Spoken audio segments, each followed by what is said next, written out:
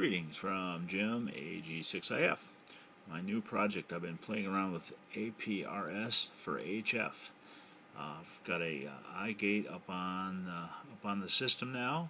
I'm using Robust Packet and I'm 30 meters, 10.147.300. Got a SCS uh, tracker and a ICOM 718. Using robust packet because I have a friend of a friend who's out on the uh, on, on, the seas with a similar setup, and I'm trying to help gate some packets from him. Uh, if I look on aprs.fi, I notice that there's some gaps along here, and that led me to wonder what was what was happening. And I believe we're looking at propagation effects, 30 meters. Uh, I have a uh, website here that one of the other uh, gateway operators sent me a link to. And you can put your locations in and the different frequencies. Uh, you can see that 30 meters uh, is pretty decent from from my location to out in the in the Atlantic from uh, 23 Zulu around to about 13 Zulu and then the section along here is uh, not colored in. It ranges in colors between 0% chance of success to 100%. So that uh, is what's causing my gap, I believe, and it's kind of interesting in propagation for 30 meters. This website lets you put in your date and time and the month and everything, and it calculates propagation across uh, the bands all the way from 10 meters down to 80 meters, it looks like.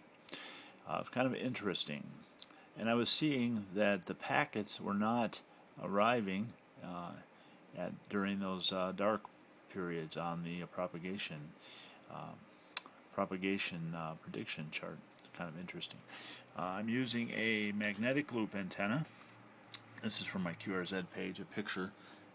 It is about 10 feet in circumference, 3 feet in diameter approximately, and it's tuned precisely for 10147 300. I'm um, running Xastir and I have two gateways, two TNCs hooked onto this machine. One's for the 2 meter gate, iGate, local coverage here, and it's running a TinyTrak4. I think I've done a, a video on that. And then the new uh, TNC is the SCS tracker and running robust packet.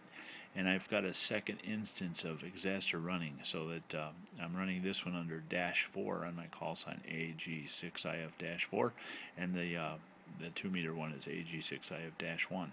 So uh, that's um, that's my new project. Having a lot of fun with it, and uh, following a, a friend uh, out on the on the seas. Came through the Mediterranean. I gated a packet, some packets from the Mediterranean, all the way to Southern California. My station is right there.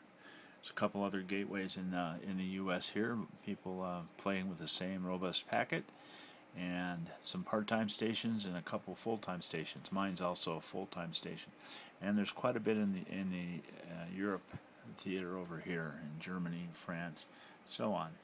So when he travels through the through the Mediterranean here and down into the Far East uh, through the Suez Canal, we're able to gate him just about everywhere he goes. So uh, kind of fun, a lot of fun. Uh, and uh, APRS HF. If you're interested, check out aprs.fi or you can look at robustpacket.net, robust-packet.net for more information.